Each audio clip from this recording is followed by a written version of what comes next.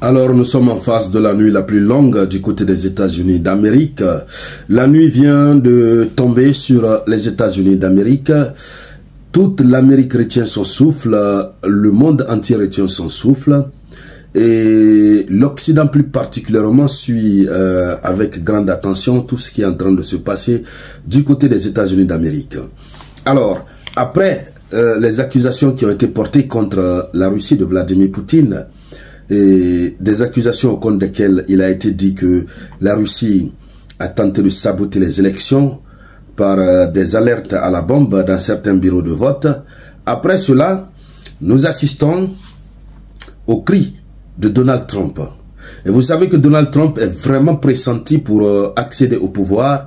Il est très très soutenu par les Américains qui disent qu'ils ont besoin de quelqu'un qui peut diriger le navire américain. Beaucoup d'Américains en ont marre des, des, pratiques qui ont été exercées sous le règne de Joe Biden et ne veulent pas du tout voir la continuité du système Biden. Alors, Donald Trump, ils sont en train de passer par tous les moyens pour faire en sorte d'arracher la victoire euh, à Donald Trump. C'est ainsi que dans cette grande localité de Pennsylvanie, et Donald Trump évoque déjà ce qu'on appelle des fraudes massives. Oui, des fraudes massives. Alors, pour le moment, Donald Trump n'a aucune preuve, mais il a fait une communication sur les médias sociaux, une communication dans laquelle Donald Trump euh, annonce qu'il y a beaucoup de rumeurs sur des fraudes massives à Philadelphie. Voici ce qu'il écrit en substance. Il y a beaucoup de rumeurs sur des fraudes massives à Philadelphie. Il parle de rumeurs, évidemment que oui, puisqu'il n'a aucune preuve pour le moment. Mais lorsque l'information circule, c'est de son devoir d'annoncer. Alors, il a fait cette communication sur les réseaux sociaux et ce mardi.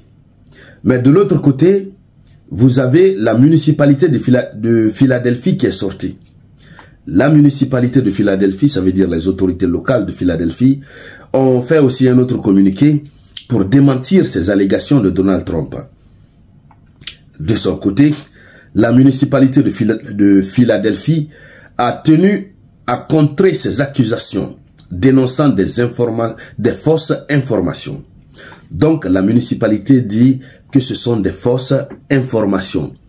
Les informations alors que Trump aurait reçues, puisque lui-même il a dit que ce sont des rumeurs, la municipalité dit que ce sont des fausses informations.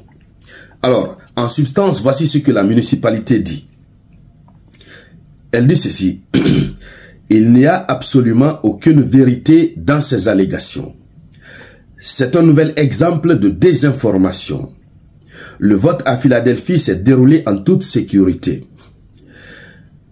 Nous avons été en contact régulier avec euh, le comité national républicain. Nous avons répondu à chaque signalement d'irrégularité dans les bureaux de vote afin de garantir que les Philadelphiens puissent voter en toute sécurité. Voici ce euh, le, communiqué ou la communication, on va dire ainsi, qui a été faite sur le réseau social X par euh, Seth Bultsen, commissaire de la ville. Donc, voici déjà euh, ce qu'il faut dire à ce niveau. Nous continuons de suivre euh, cette actualité et tout ce qui va en découler, on reviendra en parler ici au compte de ces éditions spéciales destinées, n'est-ce pas, aux élections présidentielles américaines de ce 5 novembre 2024.